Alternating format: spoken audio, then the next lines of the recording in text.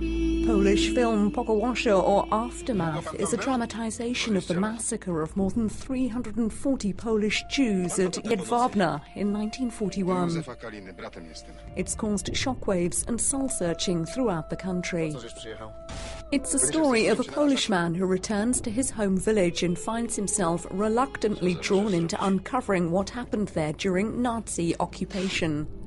He discovers that at the instigation of the Nazis, local people, including his own father, herded Jewish villagers into a building and burnt them to death. It's not about the fact that this crime was perpetrated by 1% of Poles or even by one in every thousand. It's not important. Even if it was only one person, then we should know. Because we are Poles. We're not afraid of our own history. A mój brat Józek to co? Opponents of the film argue it discredits Poland by creating the impression that such events were the norm in wartime. Some have accused the actors of slandering their country. Nagrobkami droga. Od siostry mi z daleka, boś nie Ameryki One, nie zobaczył. Maciej Stuhr, has even received death threats. Żebyśmy już nie It's up to us never to do things again which will bring shame or force us to sweep things under the carpet.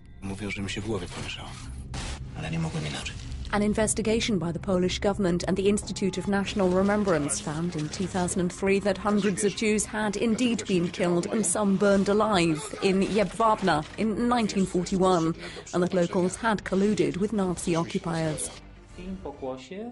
Film Pokłosie nie odnosi się The film Pokłosie does not have any relation with historical facts or current reality. Fantasy and science fiction films can be done this way, but if a film has the ambition to be a film portraying historical events, it needs to be at least minimally accurate towards the facts. do pewnych zdarzeń z historii należy chociaż w minimalnym stopniu trzymać się faktów. The view of right wing Polish opposition group, the Law and Justice Party.